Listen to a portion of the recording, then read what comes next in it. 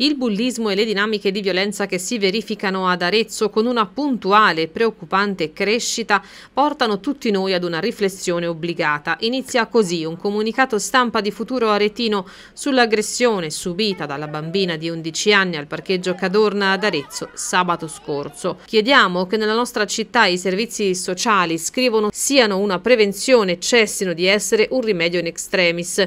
Attendiamo come sempre che l'amministrazione realizzi quanto sia importante ed imprescindibile educare in egual modo tutte le famiglie perché non ci siano figli sbagliati o meno sbagliati.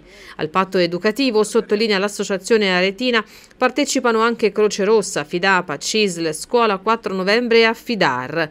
Tutti insieme chiedono a gran voce un consiglio comunale aperto dove le preoccupazioni degli aretini possano essere messe sul tavolo per fare fronte unito alle problematiche che appartengono a tutti. Sono tutti invitati, scrive Futuro Aretino, a prendere parte alla voglia di azione e reazione che muove la nostra associazione. Un grande abbraccio e un invito a parlarne insieme va alla ragazza aggredita e alla sua famiglia.